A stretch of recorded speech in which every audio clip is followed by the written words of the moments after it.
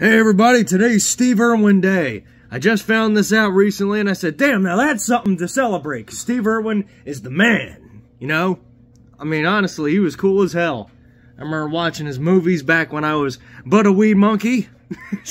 and, and let me tell you, I mean, few people that I know of that existed come close to the sheer badassery of this man.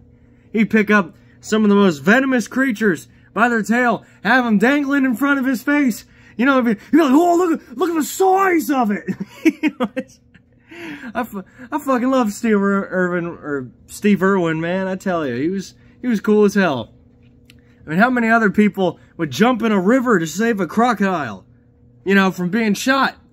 I mean, that, that's incredible, you know, it's, he, he did all that crap. He saved so many animals' lives, saved people's lives, too, you know, and I respect him, so this, uh, you know, this video is to Steve Irwin, man. He was, he was a cool-ass dude. And to the legacy that he left behind, and to the family that's keeping his memory alive and well.